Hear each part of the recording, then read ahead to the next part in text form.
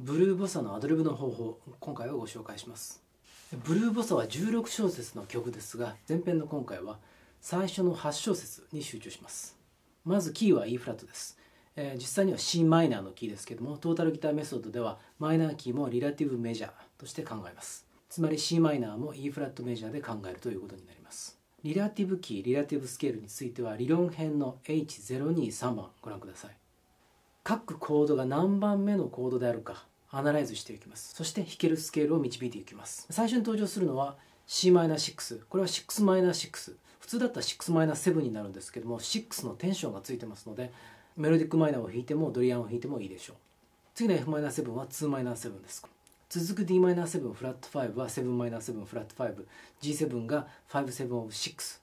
そしてここで弾くのはHarmonic Minor Perfect Fifth Below やオルタードなどがいいでしょう。そして c マイナー7に6マイナー7に戻ります。今回はこの8小節に集中します。最初の c マイナー6のところはドリアンでもメロディックマイナーでもどちらでも構わないんですが今回はメロディックマイナーで弾いてみましょう。ジャズでいうメロディックマイナーっていうのは上昇も下降も変わらないジャズメロディックマイナーもしくはリアルメロディックマイナーと呼ばれるものなんですけども次のコードがナチュラルマイナーで弾くべきコードですので例えば上昇を c マイナー6の上でメロディックマイナーでして f マイナー7のところでナチュラルマイナーで加工する。つまりクラシック音楽のメロディックマイナーのように使うこともできるわけです。でこれちょっとやってみたいと思います。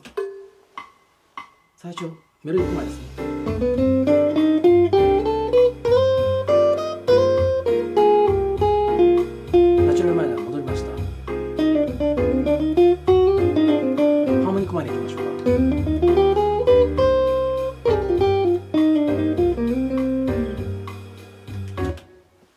ですかね。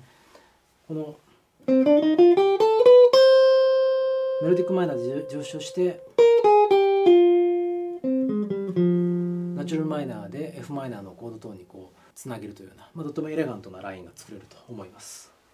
初心者の方はこのようなマイナースケールの細かいことを考えずにペンタトニックだけで弾いてもブルーススケールだけで弾いても問題ないと思います。これちょっとやっていきましょう、えー、例えばここの8フレットから始まるブルーススケールなんかを使ったらいいでしょう。この。